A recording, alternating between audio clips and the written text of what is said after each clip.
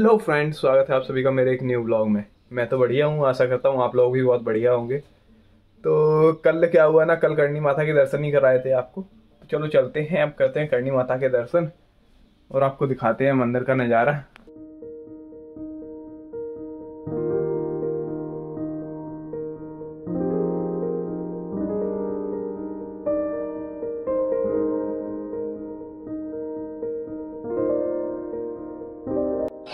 अभी यार शायद चूहे सो रहे हैं, पता नहीं क्या, अभी एक भी चूहा नहीं है यार यहाँ पे।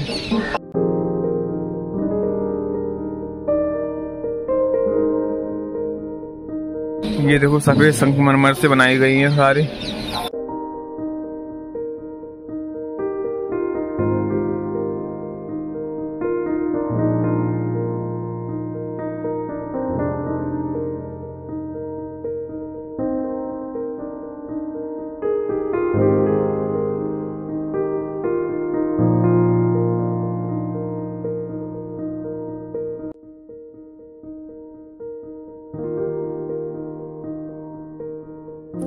ये देखो, चूहे निकलने स्टार्ट हो गए हैं।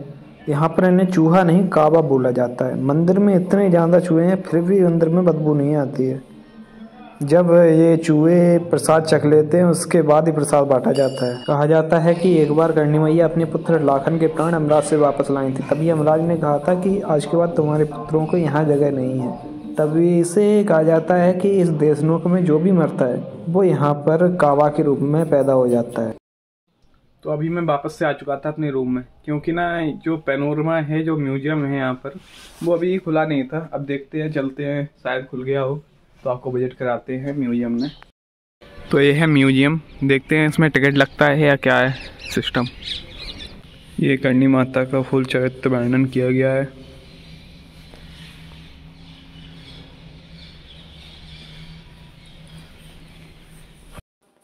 यहाँ पर करणी मैया के संपूर्ण जीवन को चित्रों के माध्यम से दिखाया गया है। अगर आप लोग इसके बारे में पढ़ना चाहते हैं तो आप वीडियो पॉज करके पढ़ सकते हैं।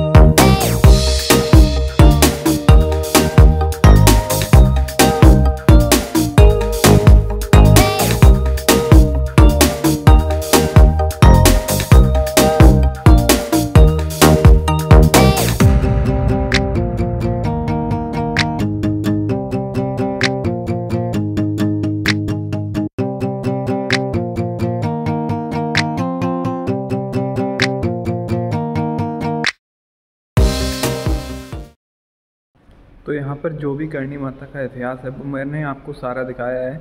आप वीडियो पॉज करके पढ़ सकते हैं। तो अभी मैं पहुँच चुका हूँ जूनागढ़ फोर्ट पे। अभी आपको विज़िट कराते हैं जूनागढ़ फोर्ट। ये यहाँ पर साइकिल पार्क कर दी है।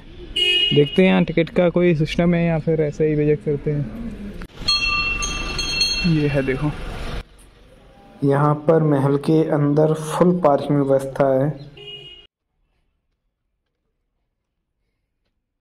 ये चैन इस वजह से लगी हैं कि अंदर कबूतर ना जा सके और गंदगी ना करें। तो अभी देखते हैं और चलते हैं ऊपर साइड। यहाँ पर गाइड मिले हैं जो कि फ्री विज़िट कराते हैं। जैसे ही हम महल के अंदर एंटर करते हैं, सबसे पहले हमें दिखती है एक सुंदर सी चौक। यह है वो कुंड जहाँ पर राजा अपने कुछ खास लोगों के साथ होली खेला करते थे। इस कुंड में रंग मिलाकर। और ये ऊपर झरोके दिख रहे हैं, इनसे रानियाँ देखा करती थी राजा को।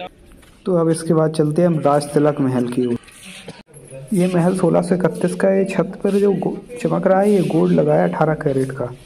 और यहाँ पर अंदर एक सिंहासन रखा हुआ है, जो शुद्ध चांदी से बना हुआ है। ऊपर एक पंखा लगा हुआ है, जिसे कि सेवक चलाया करते थे। और यहाँ पर राजा जो भी बनता था, उसका राज्याभिषेक होता था, इसलिए इसे राज तिलक महल कहा जाता है।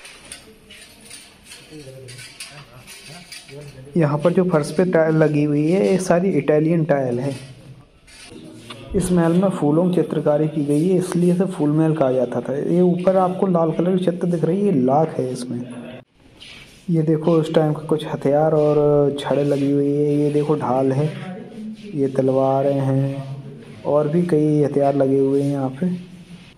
ये देखो यहाँ पर राशि के अनुसार हथियार रखे गए हैं, मीन राशि, कन्या राशि, सिंह राशि का यह राजा अनूप सिंह का राज दरबार महल जो कि इस महल का सबसे सुंदर हिस्सा है। और ये देखिए, जो दरवाजे हैं, ये अखरोट की लकड़ी के हैं, जो कश्मीर से लाए गए थे। इन्हें सही रखने के लिए हर दो साल में वार्निश की जाती है। तो अभी हम आ चुके हैं बादल महल में। यहाँ पर चारों साइड बादल की चित्रकारी दीवारों पर। और यहाँ पर अभी मैं आपको एक कूलर दिखाता हूँ उस टाइम का। ये देखो, बटन लगा हुआ है। यहाँ से पानी निकलता था, ये हौद बनी हुई है। यह देखो चांदी का दरवाज़ा सेफ्टी की वजह से यहाँ लगा दिया गया है। यहाँ पर धारदार और नकीले हथियार रखे गए हैं। इन पर जो यहाँ के लोकल आर्टिस्ट होते थे, वो इन पर डांस करते थे बिना सूझ के। भगवान की कृपा होती थी कि उन्हें चोट नहीं होती थी। और अभी मैं आपको दिखाता हूँ एक टेबल इस टेबल है राजा रानी के चौपड़ पासा खेलने के लिए। पहले यहाँ तोप खाना और अस्तबल और कारागृह हुआ करता था। अब इसे गार्डन में तब्दील कर दिया गया है। शिव भगवान का मंदिर, इसलिए शिव गार्डन कहा जाता है। तो यह है रानी महल और ये देखो यहाँ पर पालकी हुए झूला है, जो कि भगवान श्री कृष्ण के लिए था। ये था महारानी का बेड और महारानी का रूम ये है राजा का बेड ये इतना नीचे इस वजह से है कि कोई दुश्मन इसके नीचे छिपकर बार ना कर सके। तो अभी हम हैं राजा महल में। ये देखो चित्रकारी यहाँ पर की गई है। ये है डूंगर महल, राजा डूगर सिंह के टाइम का। यहाँ देखो कांच लगा हुआ है, इससे रात में लाइट का रिफ्लेक्शन होता था। यहाँ इससे नीचे है आम दरबार, और यहाँ से झरोकों से रानियाँ देखा करते थे। यह देखो राजा के टाइम के इनविटेशन कार्ड और धन्यवाद पत्र।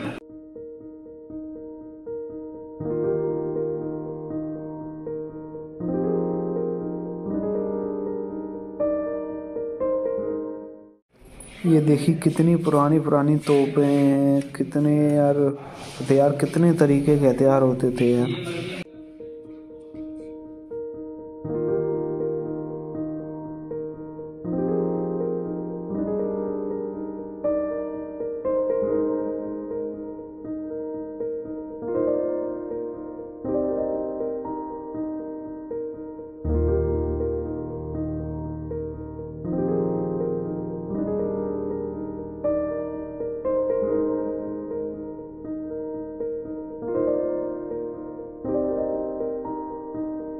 ये देखो पंखा जो कि अभी चालू अवस्था में जो अंग्रेज़ों द्वारा इंग्लैंड से लाया गया था। यह देखो अंग्रेज़ों के टाइम की मशीन गन देखो किस टाइप की दिखती थी मशीन गन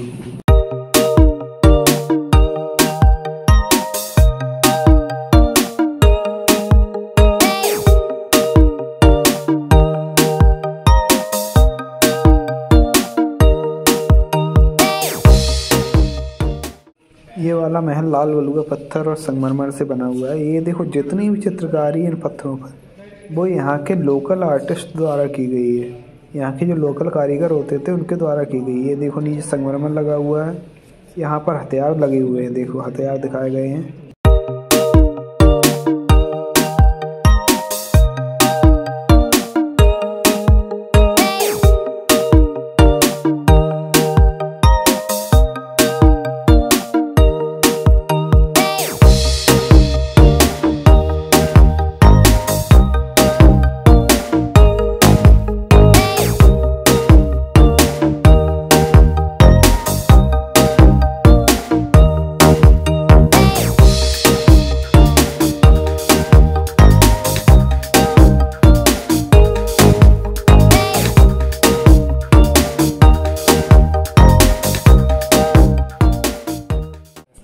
राजाओं का पैतृक बेड था, जो कि यूपी कन्नौज से लाया गया था चंदन की लकड़ी से बना हुआ है।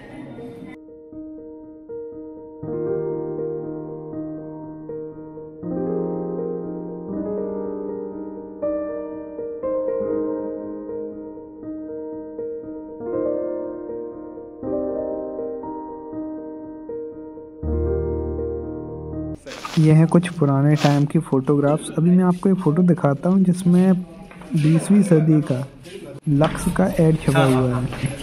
यह है राजा गंगाधर सिंह जी के टाइम की कुछ चीज़ें और उनके ऑफ़िस की कुछ चीज़ें।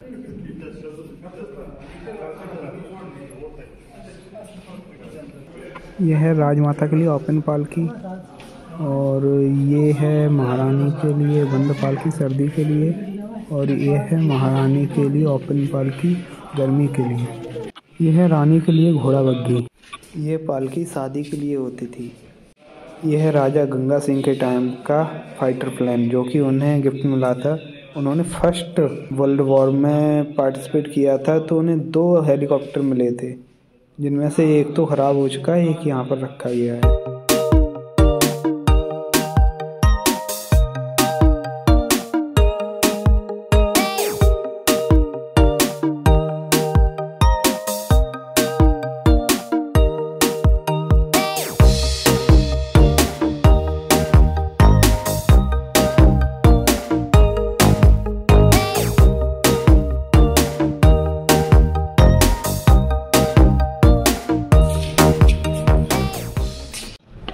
जूनागढ़ फोर्ट तो फुल घूम लिया है विथ गाइड लेकिन क्या है ना, वीडियो बनाना अलाउ नहीं था गाइड का। तो मैंने बना ली वीडियो, जैसे तैसे बनी है। तो आपको बस एडिट करके दिखाऊँगा वीडियो। बस चलो चलते हैं बाहर। तो अभी पहुँच चुके हैं कपिल धाम। कपिल मुनि का आश्रम है यहाँ पे, श्री कोलायत में। ये देखो सामने लिखा हुआ है। श्री कपिल धाम, श्री कोलायत, बीकानेर, राजस्थान। तो अब चलो चलते हैं अंदर और आपको दर्शन कराते हैं।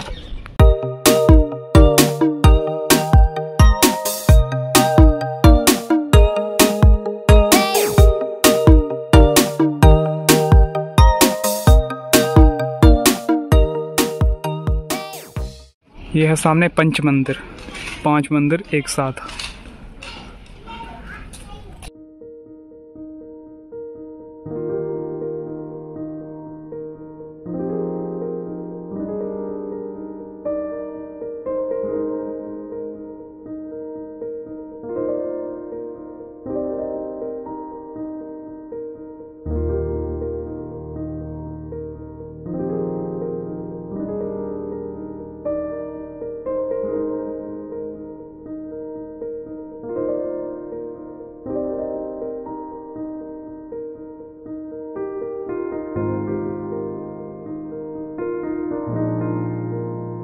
यह है स्नान घाट, यहाँ पर स्नान किया जाता है।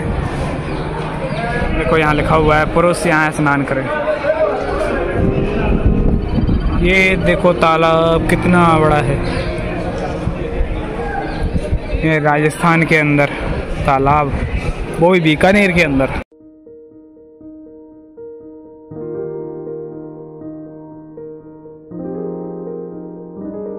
है कपिल मुनि का आश्रम, लेकिन यहाँ अंदर फ़ोटो सेल्फी लेना मना है, वीडियो बनाना मना है। तो आपको यहीं से जूम करके दर्शन कराते हैं, हो जाए शायद।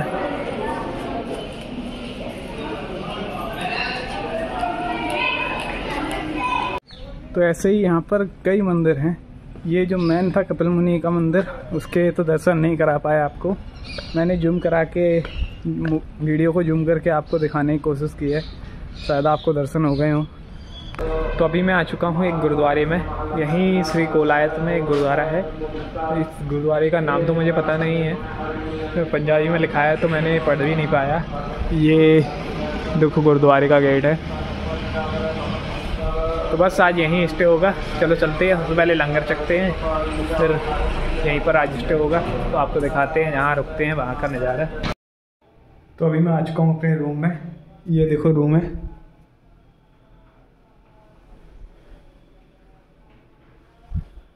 रूम तो और भी थे, लेकिन क्या है ना कि इस रूम में गीजर की व्यवस्था है।